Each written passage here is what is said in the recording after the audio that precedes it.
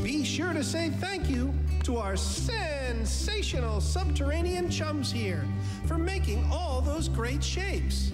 Looks like they have some more shapes in mind. Oh, look at that. I love this game too. Maisy is next.